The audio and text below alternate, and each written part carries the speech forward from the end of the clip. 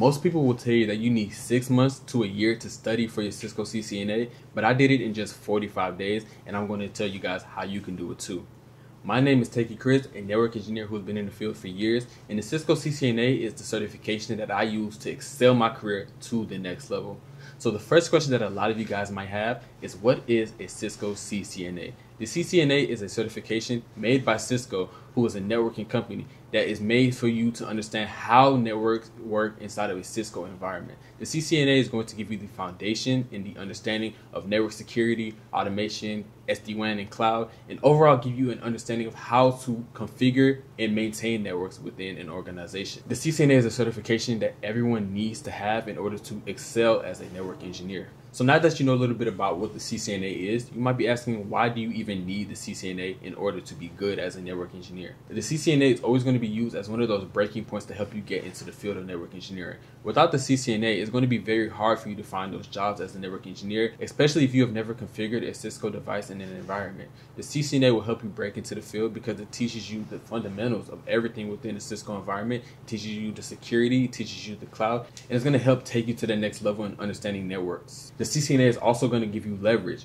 Imagine this there are 10 people in a room, five of them have a CCNA and you are one of those five, that is already making you 50% closer to getting that job position just because you have a CCNA. The CCNA is not an easy certification. A lot of recruiters see it as a plus if they see that on your application. If you are able to pass the Cisco CCNA, that means that you have done a step that a lot of people can't even do. The CCNA is always going to be a certification that is going to make you stand out when you are looking for those jobs that you're interested in. And the next thing is that the CCNA is what is going to help you become a more diverse person in tech when you study for the Cisco CCNA, it not only covers the concepts of networking, it shows you how to actually configure devices within a network. When you actually are studying for that CCNA, you're going to be also digging into the security aspect of things. You're going to also dig into the automation aspect of things as well. And you're going to get into cloud and SD-WAN technology. Learning all of this is really going to make you a more diverse person in the field of tech. And having this diversity inside of the field of tech is going to make it a lot easier for you to maybe transition into other parts of tech when you feel like it.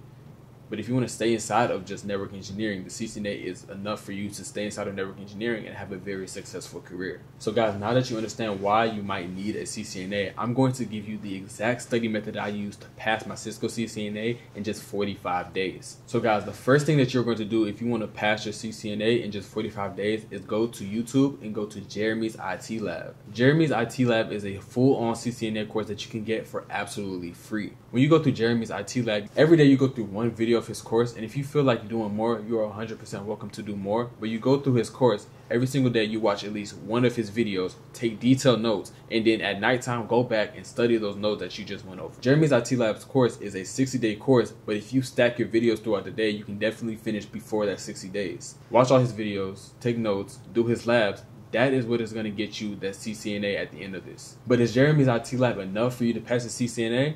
I said that you need to be doing practice tests as well. This is where Boson ExSim comes in. Boson ExSim is a software that has a configuration terminal for you to actually do configurations and understand how to configure devices within an organization. Using Boson ExSim, I was able to get a very good understanding of what the questions on the CCNA will look like. If you use Boson X, the way that I would do it is watch Jeremy's IT Labs videos, go to Boson ExSim, filter out for the exam topic that you want to take a test on and just do questions based on that exam topic that you just learned that day. This will help keep everything refreshed and memorized inside of your mind and also help you with that active recall. In my opinion and also many other people's opinion, Boson ExSim is the closest practice exam to the CCNA. If you're able to pass Boson ExSim exams, you will be able to pass your CCNA with no issue. The Boson ExSim software has a total of 300 questions and a total of three exams that you can take to pass your CCNA. Anytime that you get an answer right, wrong, no matter what it is, you are able to have detailed answers to why you got the question wrong and why the answer that you didn't get is correct. This is why I believe that Boson ExSim is one of the best practice exams for your Cisco CCNA. So while you're doing all this, you need to also be labbing. And this is where Packet Tracer comes in into play. Packet Tracer is a configuration simulator that is made by Cisco for completely free. Literally, all you do is download Packet Tracer on your device and you literally are able to configure devices in an organization. You'll be able to make labs and learn how to maintain an organization's infrastructure. Although it's not a real environment that you are maintaining,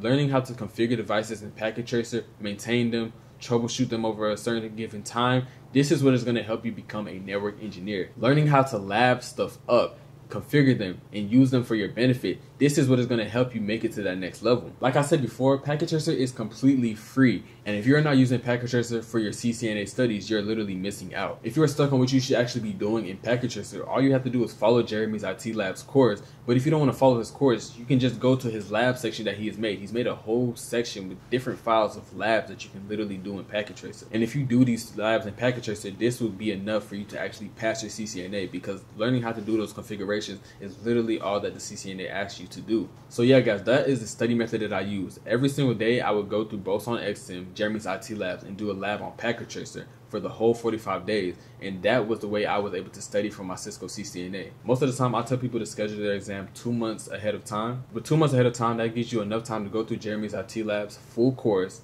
watch all his videos, do Packet Tracer labs, go through Boson ExSim, and at the end, become a Cisco CCNA. So yeah, guys, that is a study method that I use to pass my Cisco CCNA, and I'm hopeful that this study method will also work for you. But yeah, that is it for me. If you guys want to see more videos like this, go ahead and drop a subscribe for me, a like, and also comment on the video if you want to see other videos just like this. Thank you guys, and I'm out.